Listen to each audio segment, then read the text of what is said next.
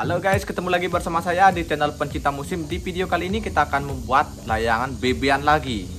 Ini ya layangan bebean 1 meter kita buat. Ini khusus saya buat untuk yang baru belajar, untuk anak-anak yang baru belajar buat layangan. Karena ada yang minta ke saya tolong buatin layangan yang gampang bang, gitu kan. Jadi saya akan buatkan layangan bebean ini. Eh, layangan bebean itu sangat gampang dibuat teman-teman karena kerangkanya tidak terlalu rumit jadi saya akan buat layang bebean nah ada juga yang bilang ke saya kenapa terus buat layang bebean sama layang cotek belolong gitu kan. Kenapa saya terus membuat layang bebean sama layang cotek belolong dikarenakan ini belum musim ya. Jadi saya ngepush buat layangan bebean sama cotek belolong dulu. Ini layang nantinya akan saya bagi-bagikan sama teman-teman yang beruntung gitu. Jadi saya akan bagikan nanti. Makanya saya ngepush ngepush terus. Nah yang pertama itu saya akan menjelaskan dulu kerangka sayap. Yang pertama itu kerangka sayap ya teman-teman ini kerangka sayap. Untuk kerangka sayap lengkungnya bentuknya seperti ini seperti U ya. Nah U. Nah untuk kelenturan kerangkanya ini pastikan di sini tengah-tengahnya itu dibuat kaku dan ke ujung dibuat lemas teman-teman. Di sini kaku di ujung buat lemas gitu ya. Seperti ini. Dan pastikan kiri kanannya itu sama ya bentuknya pastikan sama. Nah ini bentuk U ya teman-teman untuk sayap jangan dibuat terlalu kaku teman-teman. Nanti kalau kalian buat kerangka sayap terlalu kaku layang kalian akan muter-muter gitu. Dan yang kedua ada kerangka ekor. Ini ya kerangka ekor kali duanya untuk kerangka ekor pastikan bentuknya sama teman-teman. Ini kan ada dua. Pastikan bentuknya itu sama. Bisa dilihat seperti ini ya. Ini sama bentuknya. Nih. Untuk kerangka ekor kakunya itu di tengah-tengah ini kaku ya. Ini di atas kaku dan ke ujung tuh lentur. Nah seperti ini. Untuk kerangka ekor dibuat lemas nggak apa-apa teman-teman. Jangan dibuat kaku. Seperti biasa kalau kalian membuat kerangkanya terlalu kaku maka pasti dijamin layang kalian tuh akan mutar-mutar gitu teman-teman. Pokoknya kerangka ekor sayap dibuat lemas. Dan selanjutnya itu kerangka pinggang dibuat lemas juga teman-teman. Enggak terlalu kaku dan enggak terlalu lemas biasa-biasa saja. Nih bentuknya U seperti ini ya. Dan untuk pemasangnya itu kulitnya ngadep ke bawah teman-teman. Ini kulit ngadep ke bawah seperti ini ya. Nah gitu dan kerangka lurus pastinya dibuat kaku untuk kerangka lurus sama kepala dibuat kaku teman-teman ini kerangka lurus dibuat kaku ya nih dan yang terakhir itu kepala dan kepala pastikan kaku juga teman-teman karena kepala itu keras nampung angin nantinya. Jadi kalau kalian buat lemas kepalanya itu bakalan lengkung ke belakang. Jadi kita harus buat kaku teman-teman untuk kepalanya. Nah itu aja. Dan sekarang kita langsung saja ke pengukuran kerangka terlebih dahulu. Habis itu baru lanjut ke perakitannya. Ini khusus saya buat untuk pemula atau anak-anak yang baru belajar buat layangan. Bagi kalian yang sudah pro buat layangan bisa di skip video ini. Gitu ya. Dan sekarang langsung saja kita ke tahap perakitannya yang pertama itu ada kerangka kepala. Untuk ukuran kerangka kepala yaitu 25 cm teman-teman. Dan selanjutnya yang kedua ada kerangka sayap untuk ukuran kerangka sayap yaitu 110 cm. Dan yang ketiga ada kerangka lurus. Untuk ukuran kerangka lurus yaitu 78 cm. Dan selanjutnya kerangka pinggang. Untuk ukuran kerangka pinggang yaitu 50 cm. Dan yang terakhir ada kerangka ekor teman-teman. Untuk ukuran kerangka ekor yaitu 90 cm. Nah ini aja untuk ukuran kerangkanya dan sekarang lanjut kita langsung ke masuk ke tahap rakitannya. Nah, kita pinggirkan dulu ini kita pinggirkan kita ambil kerangka kepala yang pertama itu kita rakit dulu kerangka kepalanya teman-teman ini kita rakit kerangka kepala terlebih dahulu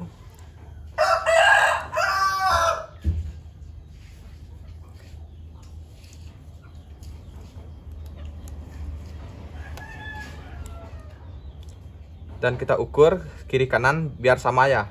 Biar pas tengah-tengah baru habis itu baru kita ikat paten.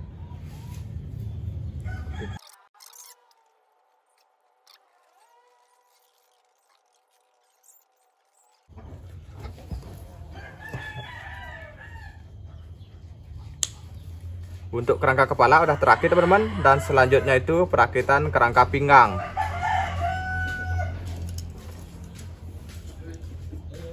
Yang kedua kita rakit kerangka pinggangnya teman-teman.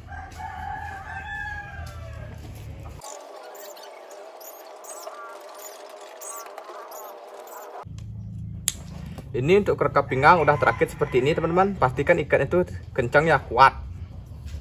Nggak geser-geser. Nah dan sekarang lanjut perakitan kerangka sayapnya teman-teman. Kita ukur kepalanya. Habis itu kita bawa ke, ke bawah.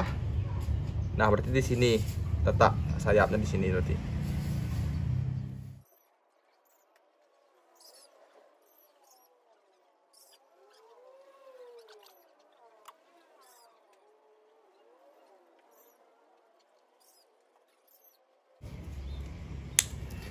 Ini untuk kerangka sayap udah terakhir teman-teman Dan yang terakhir itu perakitan kerangka ekornya Lanjut kita rakit kerangka ekornya teman-teman Untuk kerangka ekor kita ikat 10 cm aja teman-teman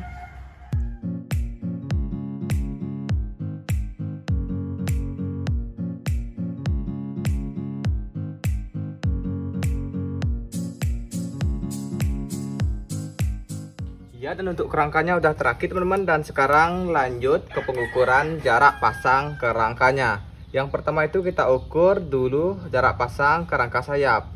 Kita ukur dari kepala ke bawah. Nah, untuk ukurnya itu 25 cm teman-teman.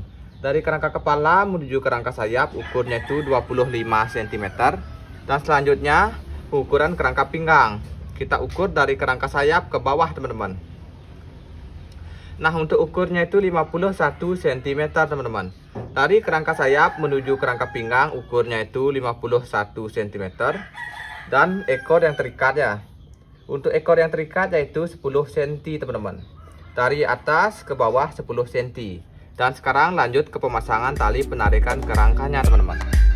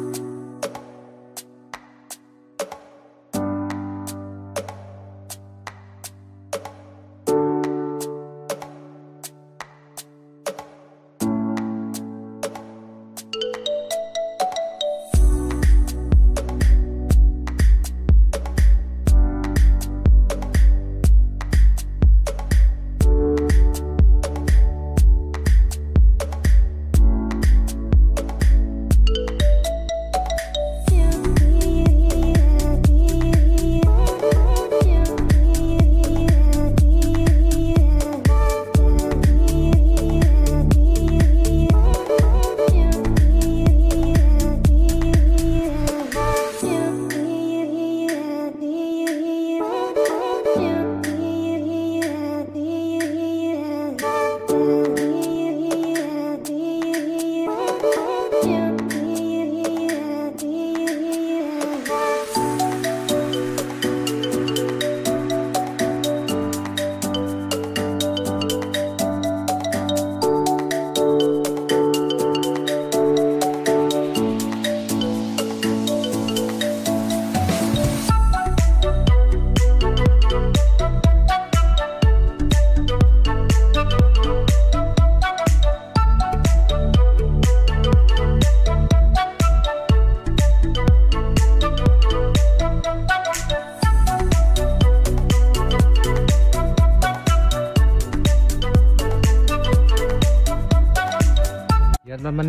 tali gocil yang BB nya itu ada di atas di tengah-tengah kerangka sayap sama di atas kerangka pinggang ini teman-teman.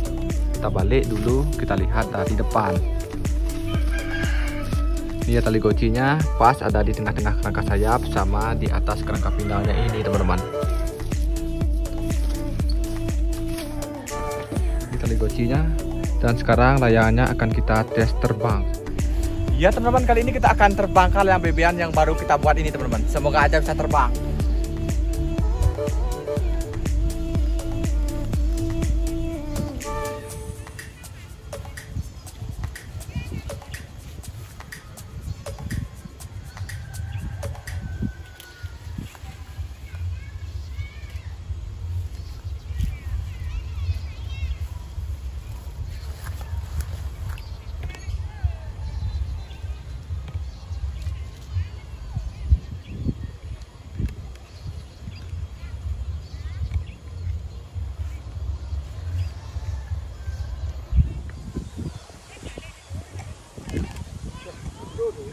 Oh. Gede aja kak. Mau, oh ini berarti ya? Oh. oh. Ya teman-teman, seperti ini naik layang kita terumbang ambing di atas teman-teman. Waduh, tapi nggak apa-apa. Sangat puas saya melihat naikannya.